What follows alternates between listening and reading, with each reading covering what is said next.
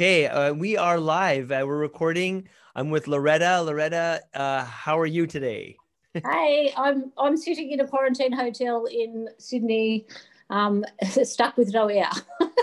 I haven't okay. Had, I will never take fresh air for granted ever again in my life. Why is that? Why your your hotel room doesn't have a, a balcony? Doesn't have a window. Doesn't have a what what huh? Oh no, that sounds uh not so fun. It's not, not. so fun. How and how long have you been in there for? Uh, now eleven days. Oh, 11 days. Okay, okay. Yeah, I've and got what I've got three more days. Three more, and then you're back home. Oh, well, then I get to see my daughter, who I haven't seen for a year. So I'm super excited. Oh my god, that must be yeah, that must be a yeah, you must be super pumped about that. Um, yeah. how is uh? So okay, so I usually start with where did we first meet? Um, I'm oh, trying wow. to remember uh, where did you and I first meet? Okay, so um, hmm, I don't even remember. Was oh, it in India? I do. I think or I do. was it in Canada? No, no, no, no. I think I remember. And correct me if, or tell me if there's like a time maybe before this, but um, I think it was at Perianne's event. Or could it, is that right? Ah, could yeah, no, what? right? Oh, that's probably you know Perianne's oh. event. No, I don't know. Isn't that? Yeah, yeah. No, you know, I'm thinking that was in DC in 2017. Yeah, probably around there. Yeah. But I think maybe it was um was it before that or after? I can't remember. In DC or something like that, I think. Yeah. No? Two, Anyways. 2000, 2007, like I was say, 2017 is quite the blur to me. yeah. Yeah, yeah. And and you're you're and so and so as I was mentioning to you earlier is, is like one of the things I'm trying to do is uh I'm, I'm doing this podcast and and and one of the goals is to capture people's kind of like their stories really uh, people who have done you know that i think that have done really great things in the bitcoin space that are doing great things in the bitcoin space to capture a bit of kind of really their lens uh before.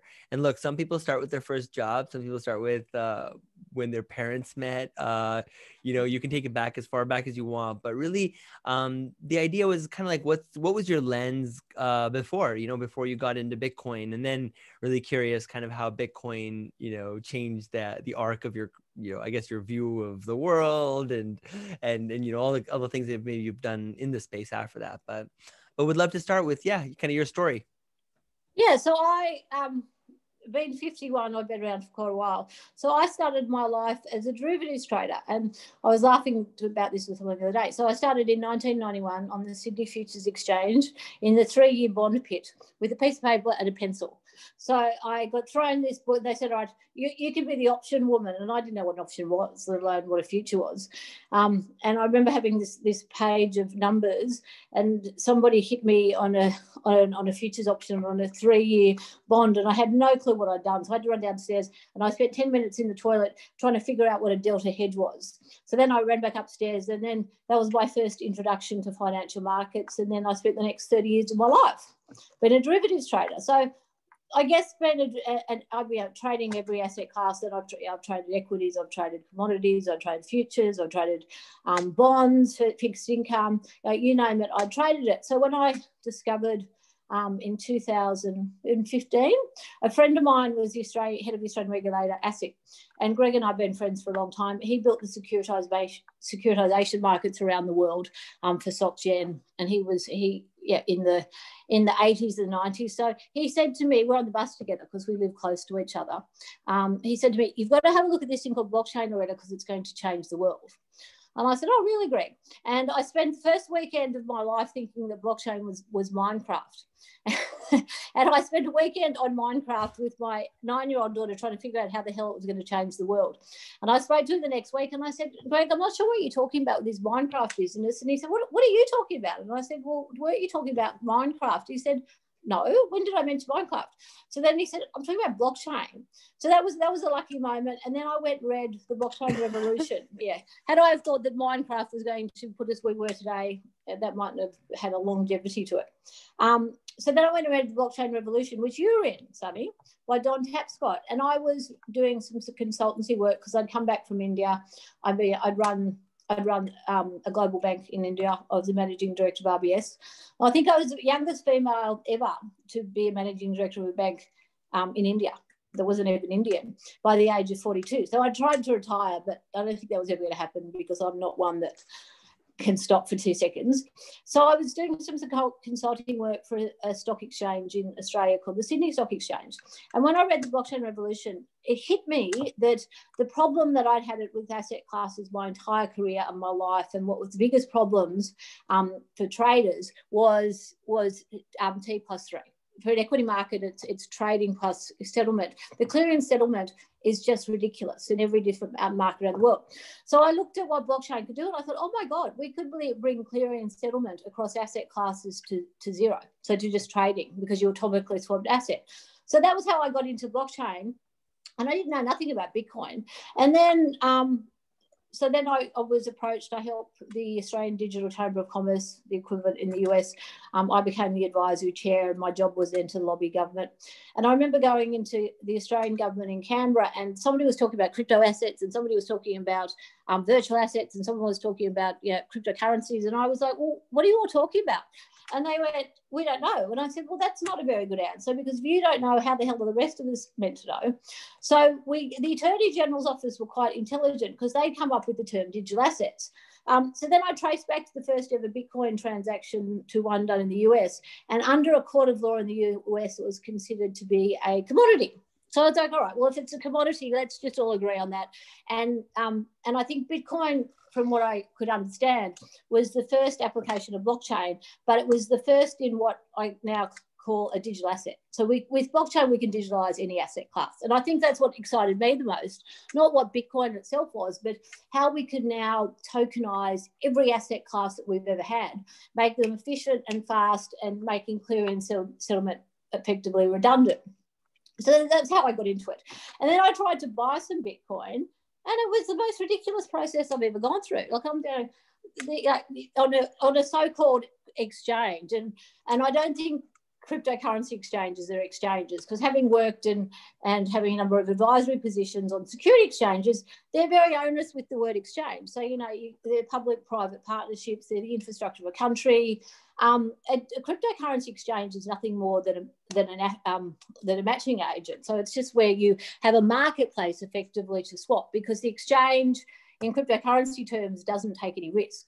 Um, and in security exchanges, we have this one concept which no one ever remembers called novation. So in the time that an, um, that a, an asset whether it be an equity or a derivative or whatever it is, is mm-hmm. swapped on a security exchange, there's that that moment, that instantaneous moment where the exchange takes the risk of the buyer and seller. So that's the very that's the very different essence, I guess, of why crypto exchanges shouldn't be called exchanges. And when they started calling them exchanges, they you know, people around the world got very confused. And then I so I looked at Bitcoin, I thought, these people really don't have too much idea what they're doing. They need a bit of self-regulation. So we we worked together with the Australian government and we came up with some self-regulation regulation rules around Bitcoin. And I think that was the start for me, where I thought this industry in its infancy needs a bit of tidying up. It needs to understand, you know, if you're going to take, be put into mainstream or you're going to be taken seriously by governments and, and regulators, then we need to start to fess up and start to act maturely.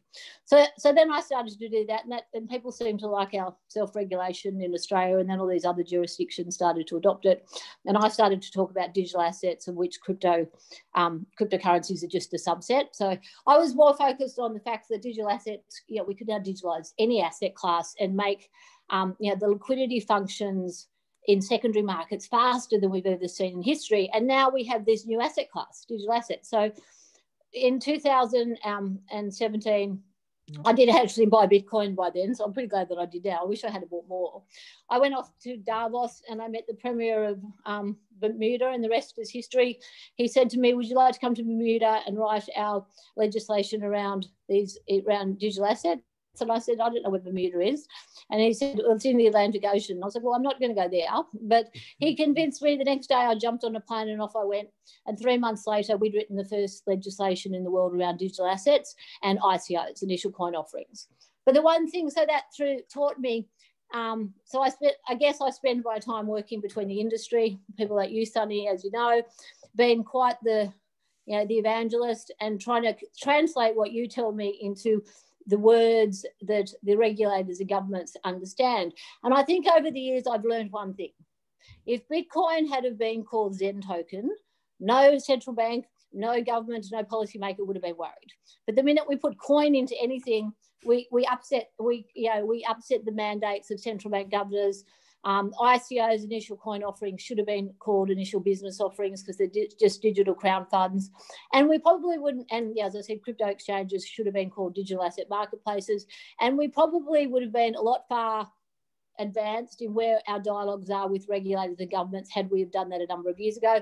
But I think that's the, you know, that's the immaturity of, of the asset class and you know, people just wanted a bit of recognition to start to use these terms in 2009. Um, so that's what I've done. I spent the, yeah, the years since then, the rest is history. And I work for a lot of governments, um, a lot of law enforcement agencies, a lot of central banks ask me now, um, exactly defining on what you do in the industry and, um, and how we can translate into the the terms and um, the space of what regulators, regulators and policymakers um, think about this industry around the world and make it let, sort of demystified, I guess, and make it not as scary as it seems. Okay, so there was a lot there. Um, okay, just a couple of maybe highlights, right? So, okay, first of all, you're you're from you're from Australia, right? right? Are, are you originally are you originally from there? Yes. What yes, city are you from? Just curious. What um, city? I I come from a little small mining, coal mining town about three hours west of Sydney, where I grew up. Um, I went to boarding school when I was 12 years old in Sydney. I then went to university in Sydney. So I lived there for the majority of um, my early life, I guess. I left, when did I leave? I think I, I just I decided that Australia was going to be way too small for me when I was about 21. And I, I guess I haven't really lived um, in Australia full time since since I was 21. So I've lived, lived in a number of places around the world, uh, including yeah, India, where I lived for almost a decade. Um, for a decade, yeah. you live you live in India for a decade, and that and that was and you you kind of went through it quickly, but there was a bank called uh, which bank was it that you worked with? Yeah, was... so I went. I originally I I I I have a little girl who's 16, and I'm a single mum, so I decided when she was about eight months old that it was costing me way too much money um, to have her put in daycare in Australia. I was I was trading on derivatives desk and it meant it was starting like six in the morning and finishing at midnight. In those days, we didn't have mobile phones; we had landlines. Um, so you know the, the, world of continuous trading even then wasn't wasn't 24 7 we had breaks because we had people doing it um, so i went any many money mo where can i go that i can take my daughter to um, yeah. that is not as expensive and mm. macquarie bank who's a bank in australia were advertising a job and they couldn't get anyone to fill it to run their derivatives desk in in mumbai in india cool. so i said all right i'll go so i took a job in mumbai india without ever being there um, and i chuffed off with my eight, eight month old child to work there. Well, which, which, which bank? Which bank was it? Was with Macquarie Bank, which is an Australian investment bank. Interesting, interesting. And you just moved out there. What year was that, Loretta? That you moved out to India? 2000 and would have been 2005. Towards and what was the nature? What was the nature of your role there? Like, what did what was so what did your day? Up, yeah, I was doing just what I did in Australia. So running the derivatives desk. I'm doing futures, and it was interesting because I got to trade for a lot of my US clients anyway that were based um, out of the US. Um, but they used me in India because it was a really good time zone. And so I, I, did exactly what I did in Australia, but I did it in India and, and started to trade Indian equity markets, which was which I'd never done before, which was quite the eye opener.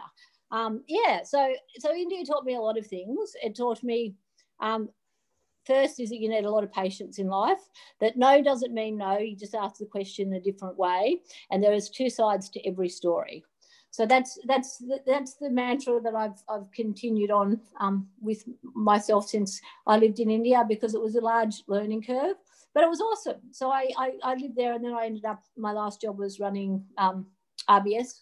So I was the managing director of the equity business.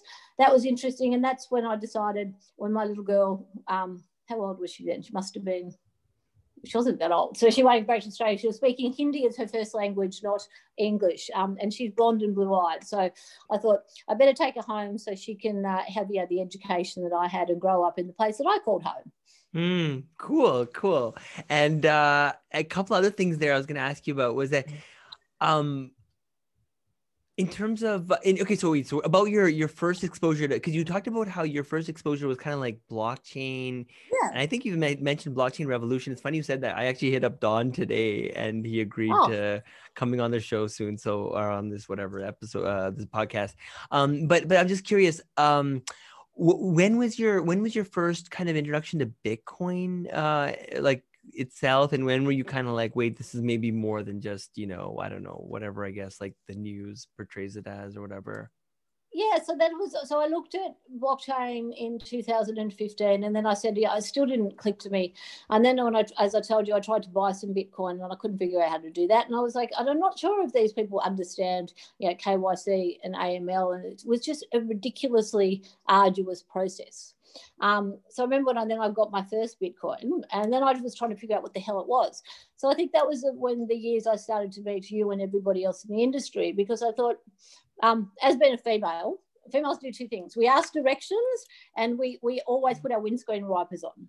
So I, you know, I, well, I always take myself as being the most stupid person in the room. So then I think I met you, and and I think it was at Perianne's event when I'd been put on a panel with people that were talking about re- regulation of Bitcoin, and I remember we did a Mexican wave in the, in the auditorium at um, Georgetown University. And I remember afterwards, maybe it was you and, and Kyle Kemper and Joseph Weinberg, they came up to me and said, You're the coolest old lady we've ever seen because you just like you, you made us do a Mexican wave.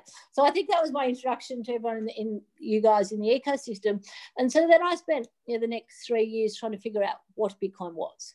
Um, know, was what what on earth had you built? And I remember we were sitting, I think you were there, it was maybe to end of 2017, in a courtyard at some university in Toronto, and there was a group of us, and there was some, you know, some Danish guys there, there was a lot of you Canadians, and you were telling me about magic cards and how you all met sort of you know, on the internet, and it just dawned on me that Bitcoin when it, you know, the Satoshi's white paper was released just after the GFC, it was it, it, it, was much bigger than people thought it was.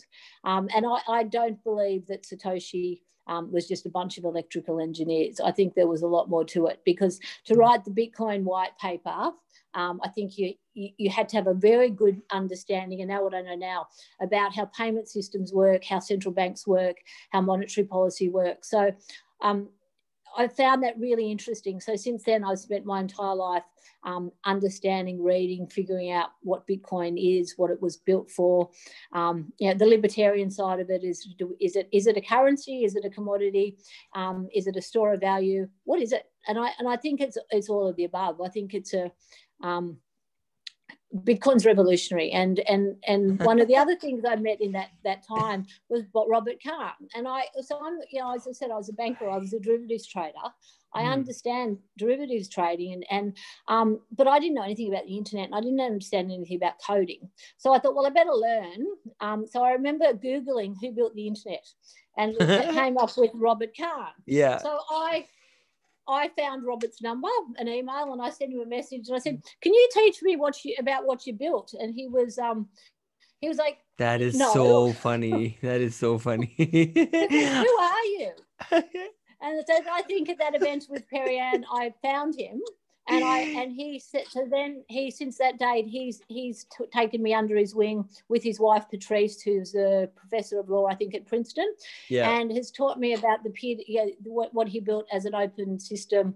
Um, you know when he first the first thing that he did when he built the internet he actually sent a message across across an open network to a guy called Vint Cerf which said hello. Now that was the beginning of the the transmission um, the internet protocol and the transmission control protocol. And on that what's come out of it has obviously revolutionized our life and changed it.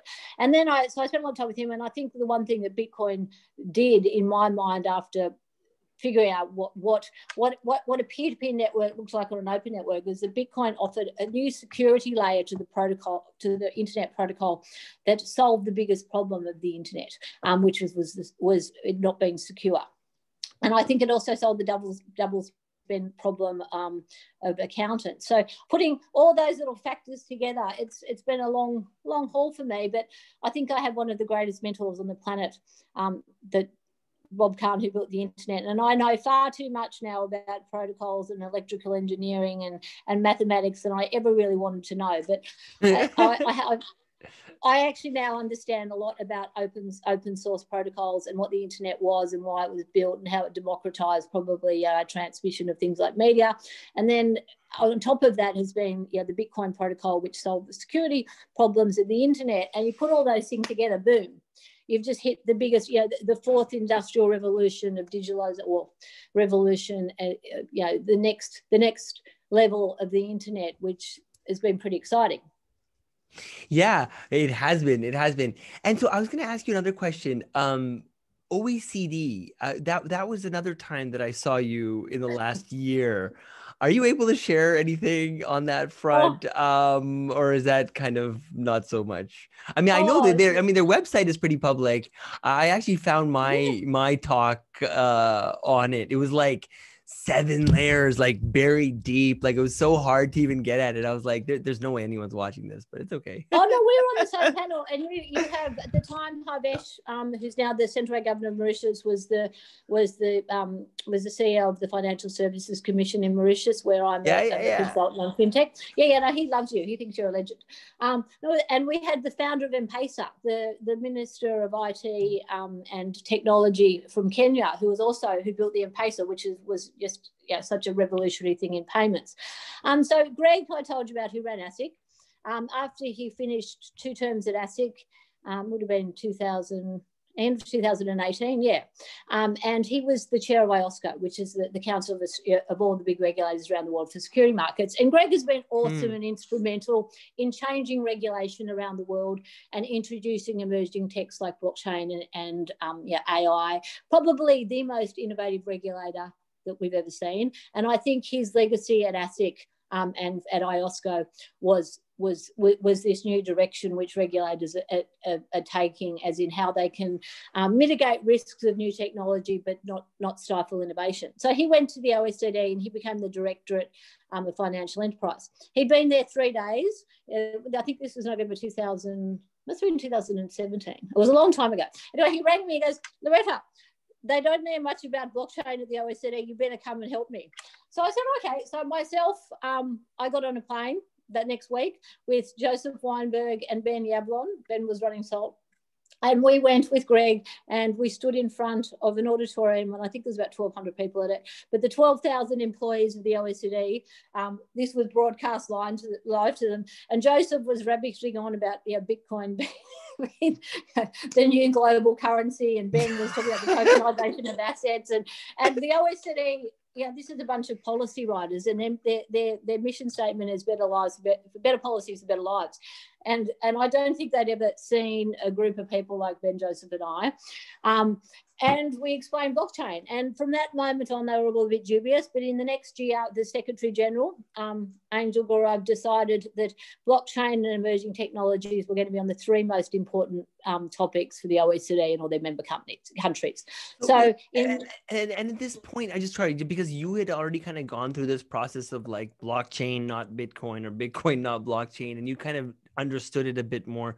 So I'm just curious, like, was the kind of the narrative there was more like still blockchain type of thing, or it wasn't still about Bitcoin, right? Like the, these events. Yeah. So, or so we explained it... to them. Well, I explained to them blockchain because everybody hears about Bitcoin, and everybody's got these ridiculous notions about Bitcoin's yeah, it's only used by money launderers and terrorists, and and and and and it's not a good thing. But then everyone goes, oh, but blockchain's awesome, and it's like, well, you know, you sort of can't have one without the other. And so I always explain to people, blockchain is the technology that underpins um, that underpins um, Bitcoin, and Bitcoin was the first application. Yeah it may not be the last, but to date, Bitcoin, so you know, the digitalization of, I guess, money.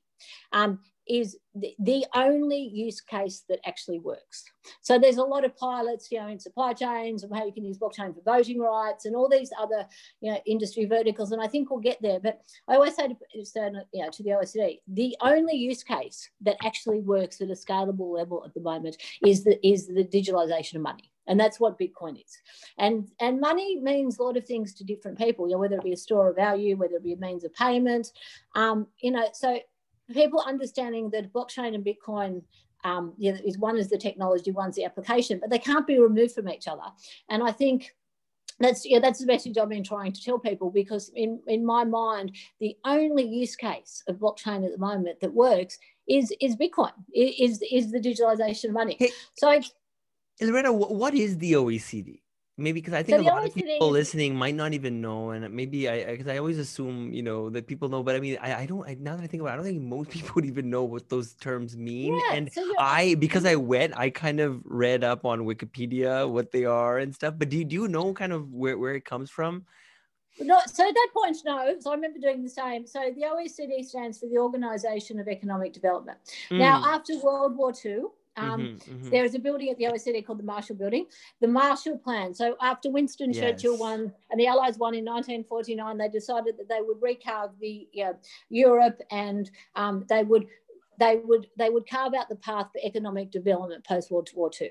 So the Marshall Plan was implemented at the OECD and it was so it's the economic development arm and i guess it has um, member countries all the g20 the g7 so they come up with policies um, as I said, the mission statement is better policies for better lives. So they, they write all the policies that um, yeah, influence things like um, finance ministers and and policies and standards. There's the standard setting body for, for, for most of the countries around the world. So the IMF, I always break it down like this. The IMF is the people that give money to different countries. The OECD is the organisation that sits behind that and decides how they're going to give that money and what what yeah how they, they pay it back effectively. And there's a number of you know large um, bodies around the world. So there's the OECD that does the, that. You have the IMF, which is the International Monetary Fund. So they give the money, and the OECD figure out how you're going to have that money implemented and how you pay it back. There's the Financial Action Task Force, um, which is the, the standard setting body around the world for money laundering, anti money laundering, terrorism financing, which are the people that blacklist countries. So they're important as another organisation. There's the OSCE, the Organisation of Security. Um, in Europe and Asia. And so I guess that's sort of like the NATO version of the OECD. So the OECD is the mm-hmm. economic. When, when was the FAT, when was FATF started? So it starts. That was started in the 2000s, and it was it brought together a number of the G20 and or the powers of the world to combat money laundering, terrorism financing. So they're the standard setters uh, uh, under that. So I always say the FATF is the big kahuna of regulators. You have like the SEC and the security regulators that probably sit a layer under that. But all regulation that comes out of the world, um, a bit from a securities regulation or a commodities regulator, still has to uh, still has to be covered off by what the FATF say. So you have these standards of regulators, and, and that's the big kahuna because no country and no regulator wants to be in breach of the the, the Financial Action Task Force um, standards and policies. So yeah, yeah, and and in the of I mean, so the, are these these are elected officials or people that are like, or how do yeah, these, so how do these people so, kind of come into these these roles, or is, how how do these like this international body? I'm just really curious about it, uh, and and I think a lot of others are, and and and where I'm kind of going with all this is, as you know, the travel rule is something that's kind of impacting the, uh, you know, uh, Brian Armstrong recently tweeted about mm-hmm. it. Um, anyway, so but but it is something that I again I think about. I think others think about. Maybe they don't. I don't know. I don't really care. Uh, but I'm curious about it. So so what what are your thoughts on on kind of you know how this is all playing out and uh, yeah. So, so I mean, I come from a, I'm a derivatives trader. As I said, I've run banks. So I, I have been my entire career for the 30 years that I did it, being used to be regulated by everybody you know so compliance with regulators for me in my entire career was never been an issue because you have to be compliant when you work for banks when you, are trading things like securities when you're trading commodities um, yeah when you, are ensuring that you, you you're making sure that you're not breaching any um, money laundering terrorist financing um, standards so i've been used to it and i guess that's that's one thing that the industry um, of blockchain and Bitcoin are not used to because this is technology, it's innovation that's come out of a bunch of technologists who are not, you know, we're really worried. We've never been really worried about what, what, what the state of regulation is because it hasn't been it hasn't been a, a, problem problem but when technology and applications of technology step into the real world um, and you start to dip your toes into does the technology um, um, breach or the applications of technology breach things like consumer and investor protection um, and other regulators. Does it breach aml ctf regulations? Yeah you have to start to fess up. And if you're going to be a, a um, you know a, a, mature industry you have to understand how these regulations impact everybody. And um, and i think that's the difference with me because i understand it. And technologists nor should they because i think 95 95 to 99% of everybody that uses technology or implements you know, tech, technology solutions, entrepreneurs, and, and all they care about is building technology. And they do it for the right reasons. But like everything and i think the internet showed us that because when the internet came out as bob said to me know, they just thought it was going to be good for porn. Um, and you know when he said when that when the internet was first launched he remember being called in by the government they were like shut it down. He's like well i can't because there's an open protocol. And then he said yeah the same people 10 years later came back to him and said okay we need to buy it he's going we can't buy it because it's open source like so um, but you know, but then as the internet matured, it started to have encroachments upon all the different you know parts of the regulators that, that regulate all sorts of stuff. So I think, um, and I, and I think people get very confused about what the role of regulators and regu- regulation is. Um, regulation is is put there to protect a consumer and investor at a security at as at, you know at a securities level or commodities level.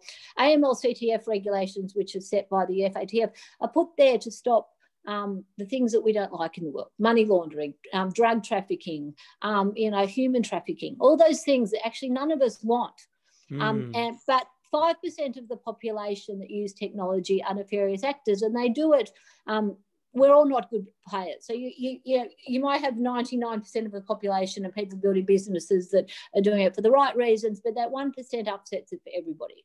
And I think at the end of the day, if you step back and say, you know, why do what why does well you know, the SEC or why does ASIC or what you know, why why do um regulating bodies be so harsh about the industry and, and why there's such hard AML CTF rules? It's because they need to stop those things that none of us want. You know, we don't want kids being used, um, yeah, for pornography or humans traffic. So when you think about it in the big context, it, it may not affect you particularly in your business or your, your life, but it affects, yeah, the world and us as people if we have these things tolerated. So I think it, when you look at it like that, um, you know, it, it, becomes much more a perspective of why we have regulations and, and what and how they protect people as humans. Um, the, the travel rule is an interesting one because you know, I've been a banker for 30 years. Um, under the, the, the, the, banking system, um, the, when banks move money, you've got to know the beneficial owner of that money and you have to know the person it's going to. So that that apparently stops a lot of the, the nefarious actions um, because the banking system knows who who transferred money and why. So the FATF came up when they said, all right, if we're going to, if you're going to do this in, in normal banking systems, then we're going to put it into virtual assets. So the FATF, and I wish um, the ex secretariat is a very good friend of mine, Rick McDonald, who set it up. He's Australian. We do a lot of work together. I really wish back in 2011, 2012, the FATF would have looked at virtual assets and called them digital assets, but they call it virtual because, in my mind, virtual means something doesn't exist. Um, Bitcoin, cryptocurrencies are part of the new digital assets and they exist. They, yeah, hello, they, are there. So I think, um, yeah, but so they, they've put all these rules that anybody transferring money through a VASP, a virtual asset service provider, which yeah, which is comprehensively um, comprises of people exchanges or what you know, big digital asset marketplaces or what you call them, and anybody interacting with any service that, that is around evolves around virtual assets have to comply to the travel rule. Now, I think the industry was a little bit um, upset with that.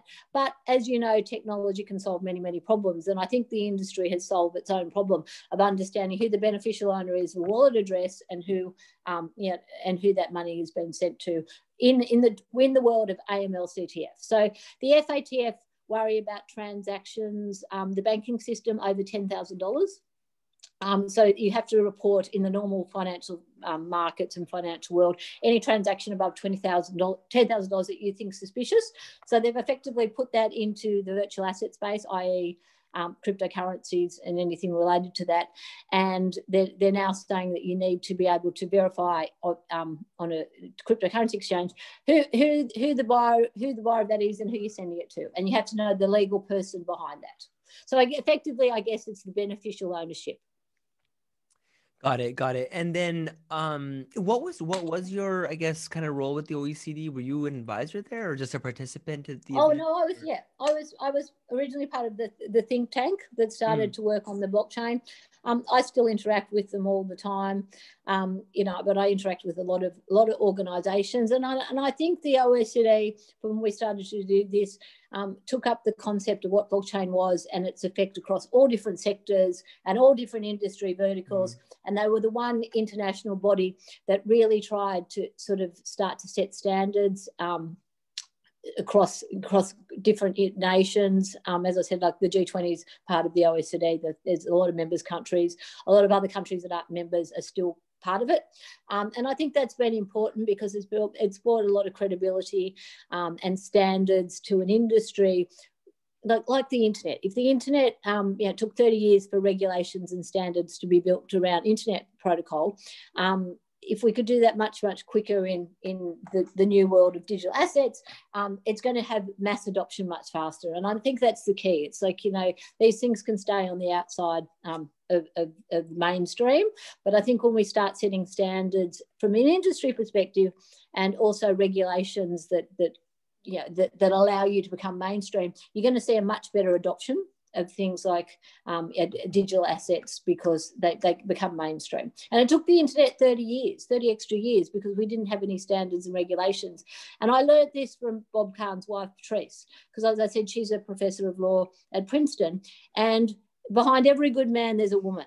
And without her, Bob would not have been able to have launched the internet the way that it was. She was the, the lawyer that stood behind him and wrote the regulations and the standards that effectively built the internet. And that that one couple taught me that if, unless you have regulations and standards set, nothing has a mass adoption. And I think the internet has shown us that mass adoption um, from open protocols and open source work um, yeah, is pretty powerful because I think everybody on the planet uses at least one device that comes out of the, the transmission control protocol. Hey, Loretta, did you hear? I'm trying to remember because, uh, uh, like, have we spoken after uh, the time we met in Paris? I don't know. I think so.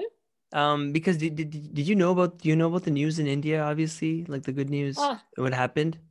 Yes, I, oh yeah, yeah. So, so on that, um, I've been very vocal, as you know. That's one of my other things about India because I think you know India being the the, the country it is. I worked with you at Unocoin. Um, at the moment, I'm now an advisor to um, to a think tank on regulations that comes under the Ministry of Good Governance um, in India. It's a think tank for all the regulatory bodies of India, and I'm trying to give them a framework um, that regulates um, digital assets, of which is uh, cryptocurrencies are a subset, give them the proper regulatory framework so they don't ban anything. Because I think, you know, um, obviously after the, the Reserve Bank of India went to court and tried to have um, cryptocurrencies banned, and that didn't work, India has to rethink now that which which pathway she goes down. And I think banning anything is not good, especially in somewhere like India where you have, you know, half the population is born after 1991. They all have access to a telephone. You can't ban technology. And I think India's got some of the smartest um, developers, tech savvy people in the world. So I, I hope that India um, starts to listen and she doesn't try and ban things like Bitcoin and cryptocurrencies, but she understands the, the benefits and, and, and the benefits of blockchain in total. And we have a proper regulatory framework, um, as I've built in other jurisdictions, to, to to, to suffice that that issue. Um, I'm working on it really hard. India's, as you know, Sunny, is it's me, and I lived there for a long time. It's a long haul. She's like a big elephant. If you walk next to her and pat her on the head, she'll be fine. But if you stand behind her and tell her to move forward, she'll kick you and she'll probably kill you. Um, it's, it's a good analogy I use with India. So yeah, so India never does anything quickly. Um, I think she's on the right path. Um, I think with COVID, um, the issues she's having up on the borders, with um, India's got a lot of problems at the moment, and I think this is probably on the back burner. But I hope that it's one that I can help to solve and give them a proper regulatory framework um, that manages you know, their regulation and um, is, is beneficial for India. So that's something else I'm working on, which I've forgotten about, but that's a big one. Very interesting. Very interesting. Hey, uh, I don't think you talked about, um, you know, in Australia, you put together a framework, right? For, uh, am I mistaking that that you had shared with me? I remember at one point, um, in terms of like how to regulate digital currencies and whatnot. Uh, did we touch on that already today? Did you do you know what so I'm referring to first of all, or no? Um, I don't think we did. So when I first met you, and I was still the I was the advisory chair at the Australian Digital Chamber of Commerce, which is now morphed into Blockchain Australia. We came up with the self-regulation around Bitcoin, and I think we were one of the first jurisdictions to do that. So that mm, was like an self-regulation, right? Yeah. Right. Mm, and that was very important because it it gave um, the industry some proper regu- some, some, proper standards to follow um, in in the absence of formal regulation. And I, I've done that in a lot of jurisdictions since because I think you have to have a push from industry to go, all right, mm. nobody wants to regulate us because nobody understands what we do. We'll regulate ourselves. And I think that's the first step to, to being um, to start on the on the process of, of being considered to be a, a, proper industry to be recognised by the policymakers, um, and so we started that in Australia. I think now there's like 37 countries in the world that have adopted a very similar um, reg- regulatory framework, self-regulation framework. I've given it to the Indians, as you know, multiple times. I keep giving it. Um, we, I've done it across you know, Serbia, Romania, um, Australia, a lot of the Caribbean. So I think that's the first step. And then on the other side of it, obviously, is, is working with regulators and policymakers to make them A, understand the technology, or yeah, B, get rid of the myths, the misconceptions about what Bitcoin is and, and because policymakers um, and regulators are not technologists. And technologists are not are not regulators or policymakers. So you have this you have this balancing act um, where you need to bring them together in some sort of fashion to make sure that the regulations and policies that have been implemented at a country level or at reg, regular, um, a regulator's level um, don't stifle innovation, but they set the boundaries for the industry to ensure that the rules and the laws are not going to change on you in a year or two years. Um, and I think that's that's been that's been hard, but it's been very important. And as I said to you before, like in Australia, coming up with the term a digital asset, of which a, a cryptocurrency is just a subset, we we did this legal framework in Mauritius. I've done it in Bermuda. Um, it's ready to roll out across the 53 countries of the Commonwealth because guess what? We all have exactly the same legal system that the English gave us. Whereas if I tried to do this in the US or I tried to do this in Europe, there's so many regulators, like a big jar of spaghetti. You got different regulators that have different views, and it does it, it's very hard to implement. But across the Commonwealth, generally, have one securities regulator um, yeah, one regulator of AML CTF, and um, when you and mature markets like Canada, Australia, the UK, and the other 50 countries that are part of the Commonwealth. My, my view is for the next five years, if I can align all those frameworks, obviously they're a bit different in country, but if I can align them, then that's very powerful. And I think the likes of Europe and the US will follow once they can see like you know, the, the, there's proper regulatory frameworks that protect the consumer and investor, stop you know money launderers and terrorists, but also give you as the industry in blockchain and crypto um, yeah, proper frameworks that mean that you know, nobody's going to come and try and arrest you in two years for breaking the law. But you know, um, in terms of like just to kind of quickly touch back on that travel rule thing, I think one of the things that is a bit concerning is is that they that they want to make it so that you can't that people might not be able to send funds from centralized exchanges to their self-hosted wallets and i think i even heard something even far more uh, or scarier as well about nodes recently. I don't know if that got yeah. like but but i'm just saying is is like so um yeah any thoughts on that? I mean just like in terms of advice to like regulators like you know because again the FATF guidelines are more guidelines right? So now the next step is for regulators around the world to take those guidelines and adopt them and, and, and as, as, they see fit yeah as they see fit yeah. so so any any any i don't know i guess you know, I mean, it's kind of like weird to even talk about regulations, right? Like as a Bitcoiner in general, right? Like I'm not, uh, like just to be clear, like I'm not like you know a, a huge, yeah. like I'm not like necessarily advocating for regulations, but we do live in a world with rules, yeah. right? And and whether we like them or not are are just somewhat like secondary uh secondary matter, right? Like uh but understanding what they are and being able to, yeah. you know, um uh like kind of figure out like why the world has them, like you said, whether it's like, you know, money laundering or or you know, terrorist financing or um, child trafficking. I mean, like I think most people are pretty unanimously against things like that. Yeah. Um, you know, but it, but again, like, but this whole KYC and AML thing, right? So there's that that side of it, the dexes, the use self user, the self hosted yeah. wallets, and all that. Um, but then there's also this other you know side where i don't know if you heard but just today an article came out on coindesk about how fincen is like the biggest yeah. honeypot of like kyc information in the world and it's just a matter of time you know you've heard of equifax you've heard of you know transunion so like centralizing people's kyc data doesn't feel it's like good. it's probably the right way either so so how do how does the world figure this out it's like kind of a big, yeah. big task but uh, you know, it's a really, it's an important one, and for me, the problem is that nobody talks the same language. Pardon me. And I found that for the last number of years. You know, when I talk to central banks, and what's one of the biggest problems that central banks have, and the GFC, because I was a trader in the GFC, is um, was the fact that, that the banks went under. So the GFC, you know, effectively happened because um, a whole lot of people were sitting in, in big banks around the world and hedge funds that had a whole lot of people trading algorithms and were sitting uh, in bubbles in their dealing rooms and they were talking about black pills, dark pills. Nobody actually un- understood one word they were saying, so they said yes. Because um, to, to be the head of a big bank or a big institution, to admit that you don't understand something is not, not generally how the world has worked. So you're better off to say yes than, than no. And I think, um, you know, that was one of the problems of the GFC. Had people understood you know the, the options the, the the naked options that were trading underneath Lehman Brothers and you know and, and all the problems that occurred with the GFC we can probably now fix with technology and decentralized systems obviously you know, take out those honeypots of attack um, from a security basis of these databases. And, and that's why I'm an advocate of decentralized databases because I think um, Bitcoin has proven that it's the only database in the world that's not been hacked ever. That's it. And so that on a technical level you know I don't care what anybody says to me go government, boom, you have the first database that has never actually been hacked. Now, Exchange has been hacked and all those things around that um, yeah, are superfluous to that because, but they don't understand that the understanding of the technology is a secure, immutable, transparent database that cannot be hacked. So if we decentralize databases, and you're right, you know, have, things are having you know, honey box, honey pots of,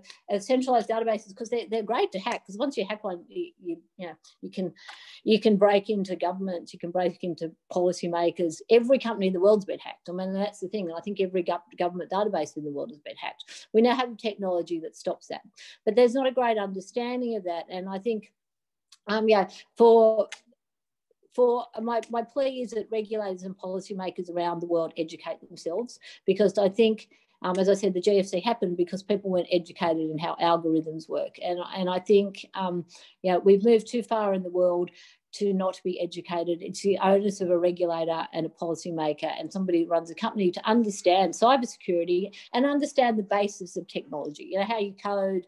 I mean, I'm an advocate. I think that every every regulator and every policymaker should have a basic level of understanding of coding, um, because most of them don't, and and that that that that's a big problem. But I think these rules come out of fear. They they come out of um, losing control, because I think you know, if if you look at the the the what was the the, the mission of Bitcoin it was the, it was the libertarians that believed that yeah that anarchy and total privacy would is the way forward. I think on the other side of it, you have governments and regulators that um, that want total control, and that's not going to work either. And I think the GF showed us that. But this world of anarchy and total um, libertarianism doesn't work either. So there has to be somewhere in the middle that works. But we have to work from both sides to make that work. Um, I plead to regulators that they don't ban things be just because they don't understand them. I think the travel rule comes out of financial markets. You know, we, we, we, we've been governed by rules around traditional financial markets for hundreds of years. Now, that was purpose built, but that's not how this technology takes us forward and decentralized you know, exchanges and wallets and DeFi scares the living daylights out of me because what regulators do, they generally regulate the intermediary to look after the consumer investor.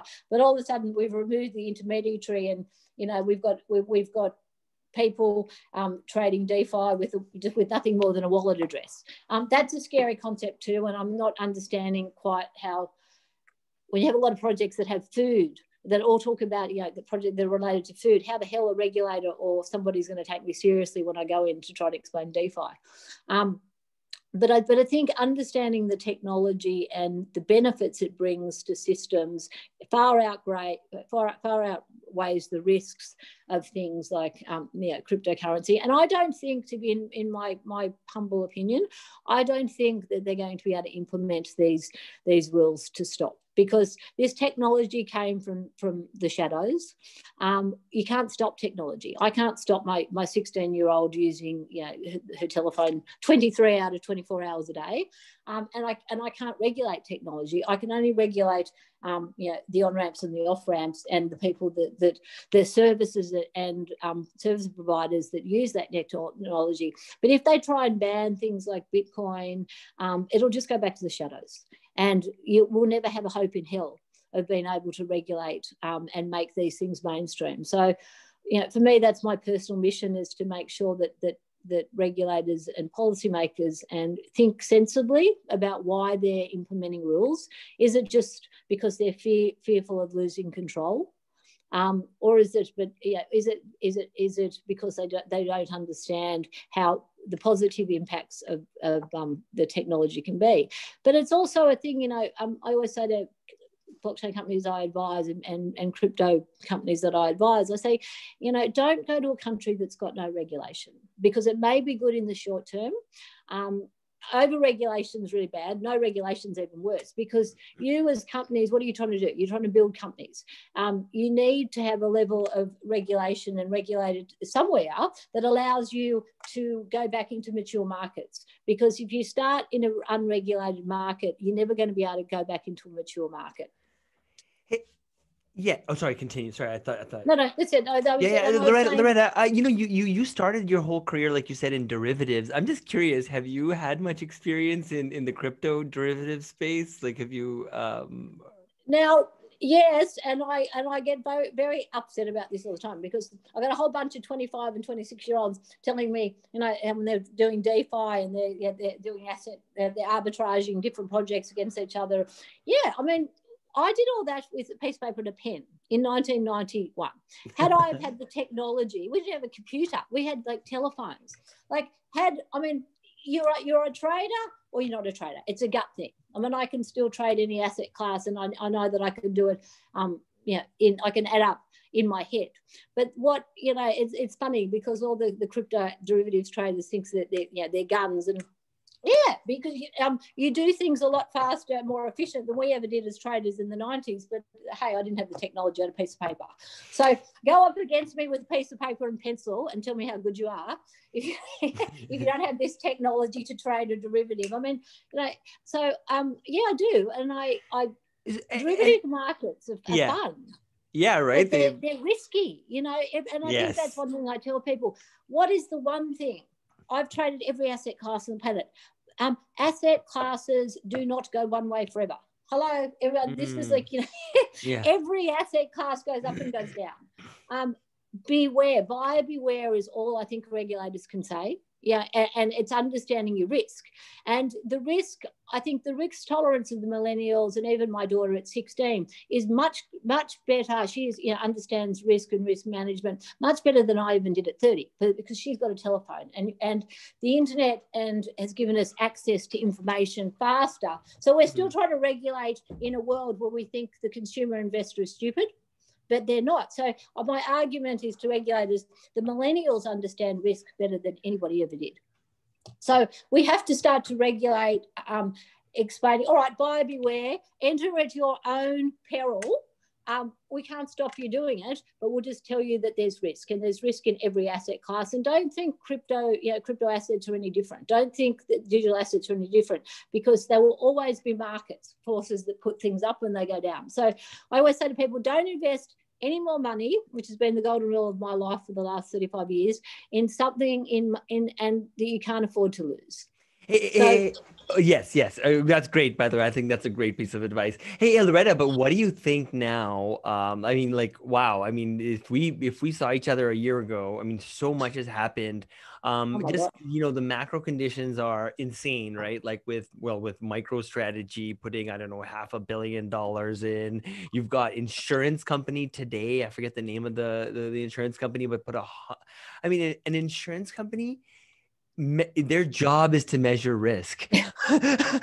so for them to be excited about Bitcoin and to be putting hundred million dollars in is, I think, yeah. another trend. Um, you're hearing Ray Dalio, um, you know, Mr. Wonderful, uh, sorry, uh, Kevin O'Leary. You're hearing all these people that are, you know. Uh, that are that are getting excited. So so curious. Um, wh- how do you think that's going to impact you know your world in terms of like regulators thinking about this because because when i saw you they had the facebook libra guy on stage oh. that was like oh. probably one of the most like i don't know oh, i mean that's i'm sorry facebook and libra for god's sake you're not even a blockchain you're a one tree merkle dude. Like but i mean but yeah what facebook did with that and it was the best marketing yeah, yeah. history in marketing story in history. They went okay what's the one what the one the one um yeah use case that works? It's the digitalization of money. Hello that's what bitcoin does and it's still the only thing that works. How do we make money of of capitalizing that? It was i mean but the, the whole thing about Libra, I mean, in my personal opinion, it's not going to work, and it's not a blockchain, and it's yeah, it's it, there's. But I love the fact that they, they, they, but but they, I would say, single handedly made yeah like this industry super relevant because oh. people might or may or may not care about Bitcoin, but, but whether you care, you have to care about Facebook because yeah. it's on your phone most likely. so like that was yeah, they, I thought like this. It, it was great because I remember when we were talking about the OS today and regulators. I started talking about stable coins in 2017 and central bank digital currencies. And I remember walking in, I think with Joseph and, and um, Samson Mow into the Central Bank of Canada, and I've done a number so far. And the boys going, oh yeah, the Bitcoin protocols and you know what we can do. And these guys just sort of looking at them and and I mean, I've been talking about the central bank digital currency since then. Everybody thought I was mad. And people went, shh, don't mention the Bitcoin. Like, don't mention you know the stable coins. I mean, these things now move on three years later. Every central bank is looking after Facebook to implement a central bank digital currency, which I haven't. It's a whole different conversation because I think we need to be careful what we wish for there. But move on mm. from what I hmm. was talking about three years ago. Everybody knows about stable coins. Every central bank's calling me going, "Oh, we need a central bank digital currency." I'm like, why? And because Facebook brought to the top of the conversation that who dares? All of a sudden, a tech company can effectively rival the sovereign a sovereign nation. And the only people that could stand up against Facebook um, as a nation is probably China. So th- it was it pushed the conversation to the edge. Everybody mm. always been, no, no, go away. No, no, no, no. What you talking about? It's not going to happen in our lifetime. We don't care. We don't need to understand it. But all of a sudden, Libra pushed the conversation to the edge, and everyone's going, we might be irrelevant. Oh my God. And I think what we've seen through COVID this year and to 2020 has been the best social experiment in history. I mean, all the stuff we were told that nobody could work from home. Everybody, now everybody's now on Zoom calls, working from home. I'm stuck in a little room. Um, I've been busier, you know, in quarantine 24 hours a day than I actually ever had when I was flying around the world. As, and it, but it's funny, but you know, and people not using cash. This concept of digital money, um, you know, mobile money, has just been pushed to the forefront of every conversation. And Bitcoin has proven because of the last 10 years, had I had a dollar or a Bitcoin, every time everyone said, oh, this thing's going to go away, it's not relevant, it's not important. I'd be a very wealthy woman at this point. I wish I had more, more Bitcoin. but I think um, with stimulus packages, and as I said, oh you know, my. been a fixed income trader for my life. I tell you, after the GFC, printing money does not work all it does is push the the, the, you know, the trash can down the end of the street. It's going to hit the next generations, and I think that's what I see with my daughter, um, with all the millennials. And for the first time in history, they're going, "Really? Governments and central banks, you think we're that stupid? Do you think we're going to pay all this off with our tax to the next generations? So I think everybody underestimated the reach of things like Bitcoin. And what you've seen now is going, hmm, all right, this is a particularly good alternative. It's digital gold. I mean, I always say to somebody, um, you know, if I was owned three assets that I would own, real estate in Sydney, because they're never going to go down, um, gold in physical and Bitcoin, digital gold. These are yeah. three assets that I have given to my daughter because I think they are the three assets that are going to be particularly um, particularly good and, and relevant mm. in 10 to 20 years. So I think Bitcoin has got a lot more momentum because people are going, and so do you, I mean, I was asking someone the other day, a good friend of mine, Raoul Pal, who's a, was a correlation trader you know with him? me in the 90s. Yes, I've been into oh, him. Man. I do, we tweet together. He we were correlation traders in the 90s, um, yeah. as well like Paul Tudor Jones. So, so everybody in the industry thinks that we're all quite stupid if we're over 50. Let me tell you, as traders, we're all still quite good. And those of us that understand the technology are even better. So, you know, and we were, you know, we were big correlation traders and we could move across asset classes on on yeah on computers once every three hours because we'd have contact to people all around the world. And and i think what technology has done is has taken the whole world and, and smashed it into being a small village. So you know the, the the, the frequency of information and trading and and i think a lot of with Bitcoin's volatility and the immaturity markets that you've seen over the last 10 years has cautioned the mainstream trader. And I say this, as I said, you know, I, I traded green bonds in the 90s. Immature asset classes are very volatile. And that, that's just because they're immature. But I think what you've seen, you know, from what was it in January, Bitcoin was at 3,000. And now what are we sitting at today? 19,000? well, Canadian is 25. Yeah, American yeah. is 19, so, 18 something you know there is no there is know, in the probability of events um, i think you've probably seen the low now but you can never in a free market guarantee that, that the highs and lows don't change. And I always say to people, just be careful. But I think what you're seeing now, and also we are with, with derivatives being implemented on Bitcoin and crypto assets globally, um, the, the mainstream traders or the, the financial institutions who, are, who were very concerned even two years ago, even a year ago, and now going, all right, this has got to the point that we have to have some exposure whether and I think with the uh, with the announcement of Circle you know, the likes of the Soroses, the Paul Tudor Jones, everybody that was still not believing two years ago, even you know, a year ago, is going, mm, we have to, um, because of the momentum thing, hold some sort of risk, some sort of, so yeah, some sort of um, number of this in our portfolios. And I think that's what you'll be seeing with central banks. Um, I don't think it's the be all and end all. And I, and I don't think in my lifetime, Bitcoin is going to become the, the global currency that the under 30s tell me, because there's a lot of different reasons. But I do think it is now setting stone as a new asset class, and people have to be exposed to that. And even the the, the die-hard fundamental you know, financial institutions that you know still want to hold US dollars and gold, that's fine. Um, I think that everybody and of these institutions will hold at least up to 10%, maybe not over that, but at least up to 10% in their in their portfolios going forward. So that I think has has cemented um, the foundations for the for the price to increase. But as I said, you know, there might be an exogenous event. Um, we were talking about it the other day in a chat that I have, um, and someone said, "Oh yeah, Bitcoin goes to 100,000, goes to a million. I said, "Right, worst case scenario." Let's take the fact if the internet got knocked out tomorrow and there was a power shortage, So you've got to think about this and went, oh, and and and should countries be putting all their you know their their reserve assets uh, into Bitcoin now? Probably not. You know, in a macro macro style, that's probably not a good way to manage a small nation because you're still subject to the volatility. No much more than you are than having a US dollar, Canadian dollar, Australian, eh, whatever euro exposure. But it cemented itself as being in that bucket of assets that you need to have some exposure to. Yeah, yeah, I totally agree.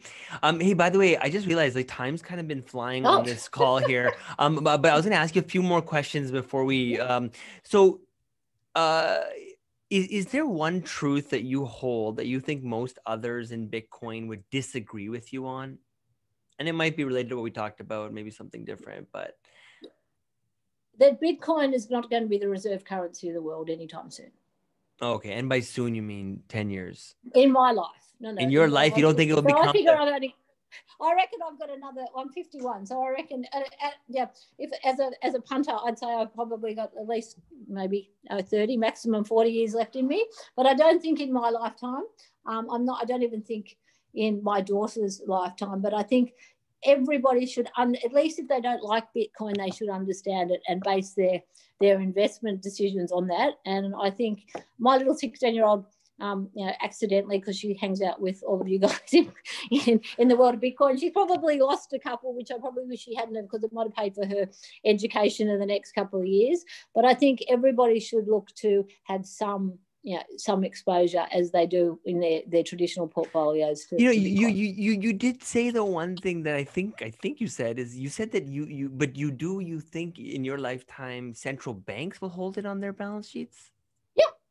I think yes. the central banks will hold it in some in some for um in some way. They won't hold it all their reserves. I mean that makes no sense. Come on, guys. You got to understand when uh, from yeah. I'm also an economist from a macroeconomics perspective. That's not to make any sense. But that that to me is kind of like the holy grail. Like meaning if if, if we're living in a world where like all the central banks are fighting over one another to hold Bitcoin on their balance sheets, in my eyes, like that's like as mainstream. Like what more mainstream well, get PayPal to accept it? Oh, done. Yeah. Check. That happened earlier this year.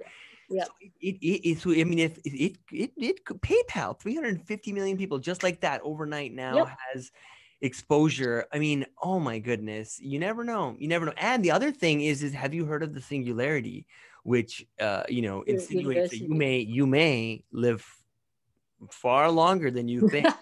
no, no, I That's dangerous. Nobody wants to see me running around as a 122 year old woman at a blockchain conference. Sure, let me assure you. and if I am, you can shoot me because no, oh, we all go back in time. I don't know. You got to read the book. I'll send it to you. Um, but it, but okay. I think it's very important that like that that um you know it it, it, it it's important that whether we like it or we don't. And I, and, and, and I think this is what regulators are itchy about and what um, central banks are itchy about. Whether we like it or we don't, Bitcoin is here to stay.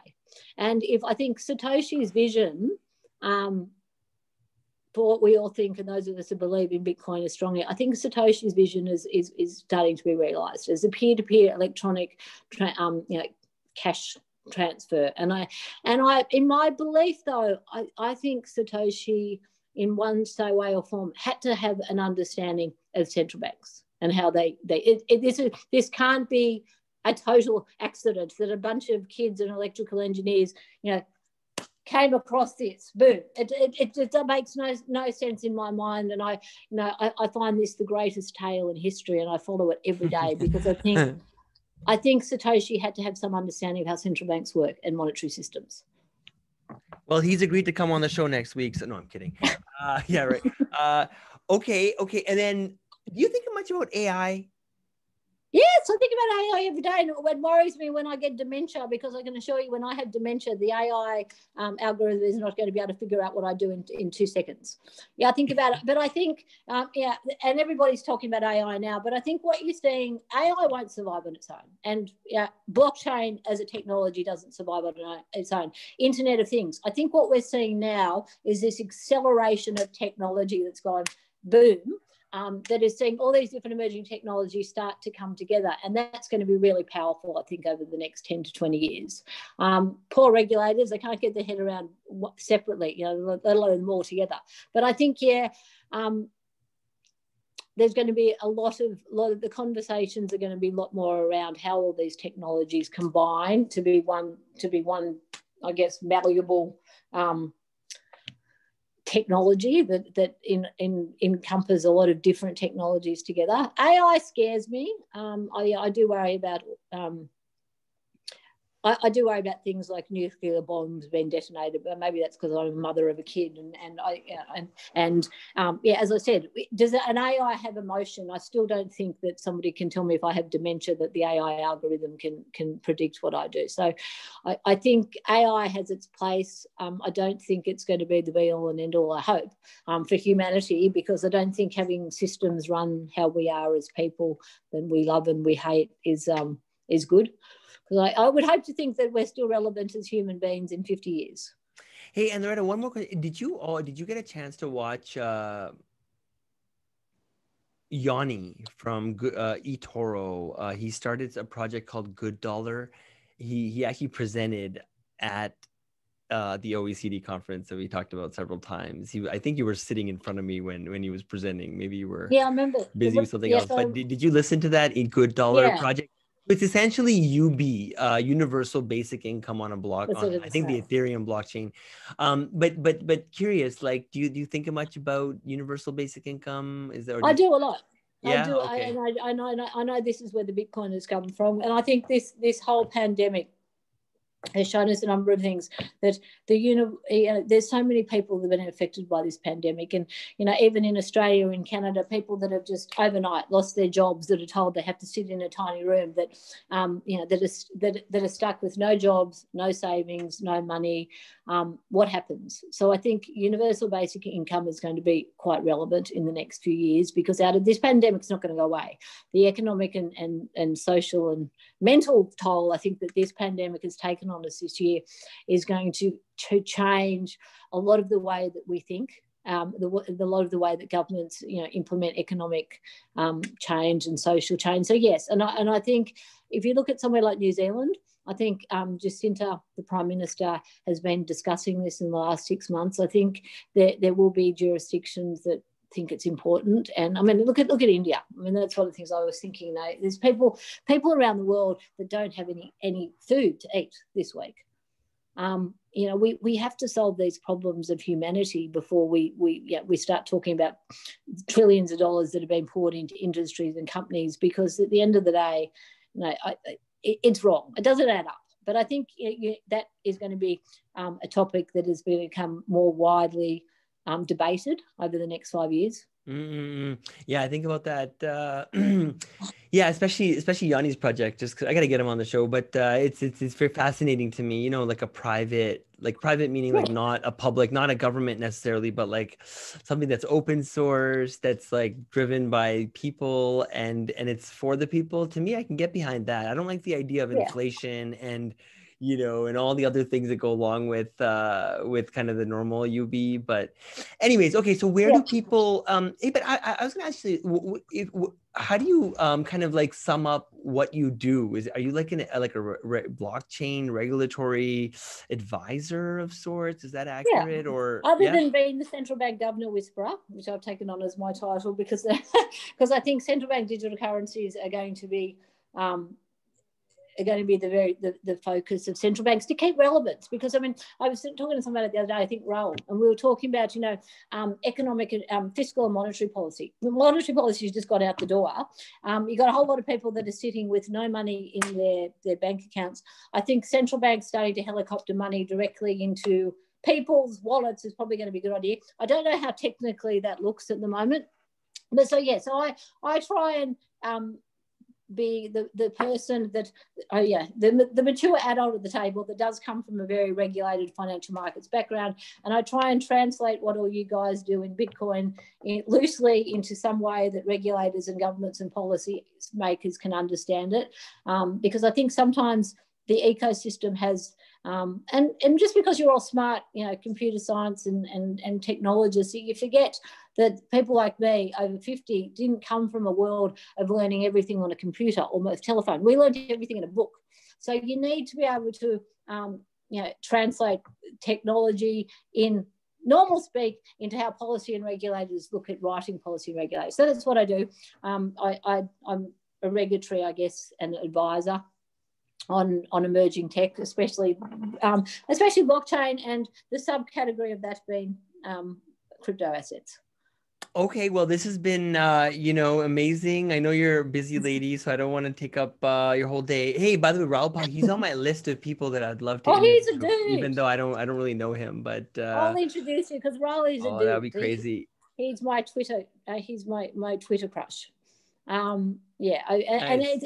and I love the fact there's people like him, and there's people like me, and there's people like Paul Tudor Jones that come from that very traditional world that are standing up, going, "All right, everybody, you may not understand Bitcoin, but you, you, no, you might like it, but you need to start to understand it." And I think that's the one message I want to say: you may not like it, but you better understand it. Yeah, exactly, exactly. Cool. Um, where do people learn more about you? LinkedIn, Twitter, oh, website? Yeah. Is there some? No, LinkedIn and Twitter are my um, yeah, um, yeah, LinkedIn and Twitter um, is, is where I put most of the stuff that I do or I talk about. It used to be more exciting when I could put pictures, but because I'm stuck in a little room and I have, yeah, I don't think that's going to change in the next year. Yeah, yeah. Hopefully we can get all out of this here. This has been. I am. I'm on Instagram though. I do. I think picture speaks a thousand words. And uh, what's my handle? The real crypto mama. The real I crypto like mama. Love it. Love it. Love it. Okay. I, I, do. I feel like I. I feel like I'm like. Um, I'm the the the mature person in the room, but I'm also the the the lady that stands in front of you know the the ecosystem and fights um, and fights for you guys because I do understand it. And, and I and I if people ban this and governments and policymakers you know continue to think that it's it's not going to be with them forever then they're wrong. So you know i'm very happy to be the person that stands up for the industry and and then rightly or wrongly the person that policymakers listen to. So happy to continue to do that. Yeah no it's a, it's a tough i think it's a tough role to be playing to be honest. I think uh um yeah, yeah. You know, at the end of the day, like I said, it's it's a slippery slope, but it's also like a it's like a pink elephant, right? That people don't mm-hmm. love to talk about. Um, but I, I do think people need to talk about it because you yeah. know it's like nuanced. There's a lot of there's a lot of moving pieces, and uh, and yeah. So hopefully we you know shed a bit of light, and then you know people can follow up with you maybe on LinkedIn or Twitter yes. if they want to talk to you. And I have a hashtag. I have two. We're all in this oh. together, and collaboration is the new survival. Because I think those two things are, are, really important. And collaboration to me, um, to bring the industry into the dialogue with the policymakers and the governments, is the most important thing that I can do. 100% great i love it i love your energy everything you do for the industry i know you you've uh, had some really interesting meetings with uh, Harvesh and the guys as well and you're good friends with joseph and everyone i hang out with so it's all just one uh, you know group of friends so i love it um hey uh, loretta so I think that covers most of it. Yeah, I think that covers everything, you know. Um, yeah, and we're at the kind of the end of the 90 minutes. So thanks again. I guess we can bring it to an end. If, yes, unless you have any like so parting much. messages. um, let's hope that, that the shit show of 2020 is over and, and 2021 is a new dawning. And any any and any any parting messages to people kind of like you know building on Bitcoin. Oh, oh, hang on, I lost you. People building on Bitcoin, right? Because I think a lot of times people get scared of regulators. They sometimes don't want to go into this Bitcoin space because you know it's there's a lot of gray kind of area. But any anything you should maybe you want to maybe tell people because that's one of the main reasons I'm doing this podcast is to kind of encourage yeah. others. to... I think it's like if you don't like regulators and but you don't need to speak to them. Speak to someone like me because I'm very good at translating the message. Don't be scared. I mean, I think that's the regulators are you know, big angry people. We're not and regulators are not technologists. You've got to remember that. And technologists, you guys are not regulators. Mm. Um, but if you don't talk, it ain't ever going to get better. So I think that's you know important thing, and I think people are always scared of what regulators do. All they do is try and protect consumers and investors. And I said at a bigger you know um, internet, AML they just try and stop the bad things. Like none of us want kids to be trafficked. None of us want um, you know we want all the bad things. We don't exactly. want terror blowing up. So think of it in the in the macro in the bigger picture. It's not what you do as an individual company. Um, it's how we act as humanity and yeah make the world a better place for all of us to live. Absolutely. Okay, cool. Okay, awesome, Reda. And again, if you want to, well, with Raoul or even without Raoul, uh, next week, next month, next whenever, I'm down to do a follow up. But yeah, with that, no, I'll. A, uh, he's a dude. I mean, yeah. I think yeah, you should speak to Paul Tudor Jones too, because he's also a dude. Oh man, I don't know these guys. I know of them.